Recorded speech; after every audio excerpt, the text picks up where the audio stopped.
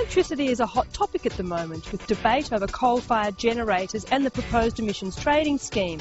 A Melbourne company has been quietly developing a cleaner and greener electricity generation system that Australians will be able to install in their own homes from next year.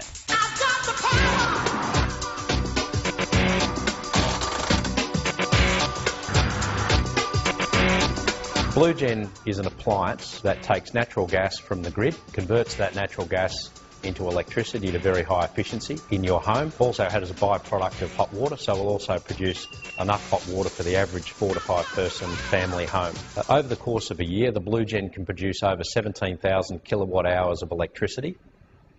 The average household here in Melbourne uh, has a demand of about six to 7,000 kilowatt hours a year, so you would be able as a householder to sell that electricity back to the grid.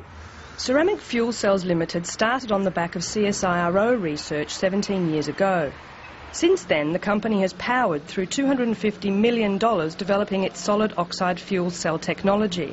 What makes the technology really interesting is that we can convert those fuels into electricity at the highest electrical efficiency possible known to man. So the efficiency is still at 60%? Yep, it's been that way for a thousand hours now. Comparing that to, say, the grid here in Victoria, electrical efficiency delivered to your house is about 20%.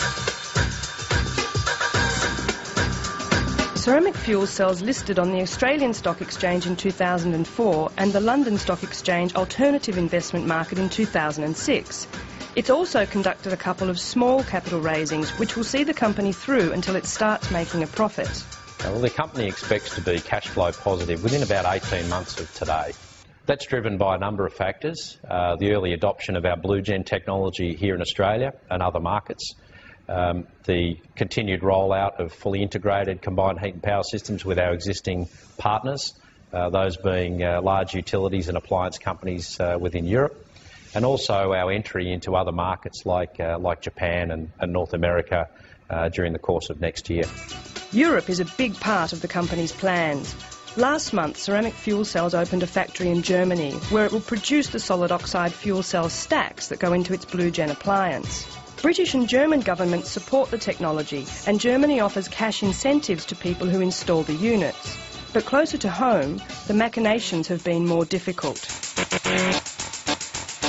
The main barriers uh, in Australia are really the engagement with, uh, with utilities here, their ability or their willingness to, uh, to pay for the electricity that householders are going to produce. Um, one of the other barriers, of course, is the fact that the, the technology doesn't qualify uh, as part of the renewable energy certificate schemes. The unit does reduce greenhouse gases uh, more than putting in a similar size solar PV system.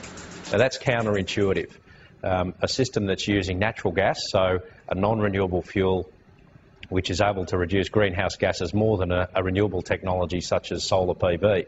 But we think there's an opportunity for the government to make an adjustment to the legislation that allows us on, say, pro rata basis uh, to be eligible for renewable energy certificates. We're persisting with the Australian market because we're Australian. I guess we're being parochial. Uh, we're a proud Australian company, and we'd like to see this Australian technology succeed here in our home market.